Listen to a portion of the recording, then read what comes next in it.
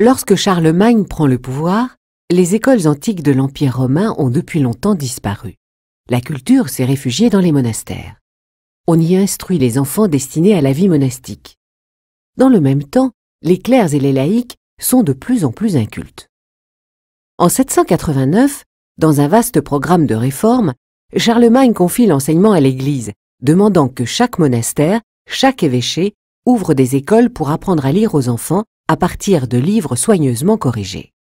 Le programme concerne les apprentissages de base, lire, le latin bien sûr, écrire et compter, mais aussi le chant destiné aux offices religieux et les notes, sorte de sténographie destinée aux futurs employés de chancellerie.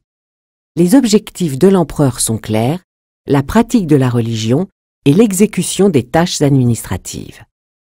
Charlemagne sait en effet qu'il est nécessaire que le clergé soit instruit et muni de versions correctes du texte sacré pour pouvoir évangéliser et encadrer les populations. Il est également conscient de l'importance de l'écrit pour gouverner et unifier les différents territoires de l'Empire. Son personnel administratif doit savoir lire pour interpréter ses ordres et écrire pour rédiger des rapports. La langue utilisée, le latin, doit être pure afin d'être comprise de tous. Mais les efforts de Charlemagne ne sont pas toujours suivis d'effet. À plusieurs reprises, il doit renouveler ses instructions en matière scolaire. Son successeur, Louis le Pieux, légifère également beaucoup en ce domaine. Le niveau culturel du clergé augmente, timidement sous Charlemagne, puis de façon plus marquée pendant tout le IXe siècle. De nombreux foyers de culture fleurissent dans tout l'Empire, et les carolingiens lettrés écrivent un latin correct qui va rester pendant plusieurs siècles la langue internationale de la religion et de la culture. La population demeure cependant à l'écart de cette renaissance culturelle. La majorité s'exprime en langue germanique ou en langue romane.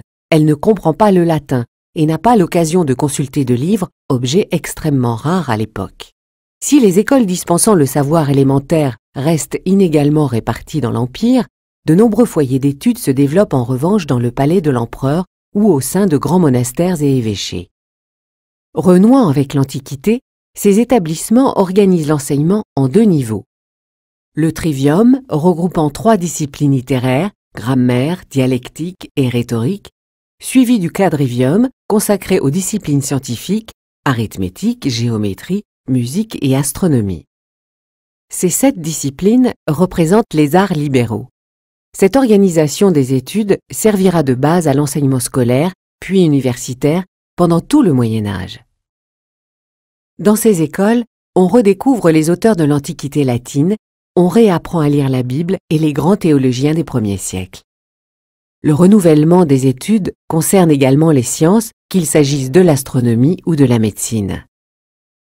Sous la houlette de savants reconnus comme Alcuin, Théodulphe ou Raban-Mort, ces centres assurent la formation de l'élite intellectuelle et le renouveau culturel de l'époque carolingienne. S'y rencontrent des maîtres venus de tous les horizons, qui apportent avec eux leur savoir et leur culture au croisement de la tradition antique et byzantine et de l'héritage franc et germanique.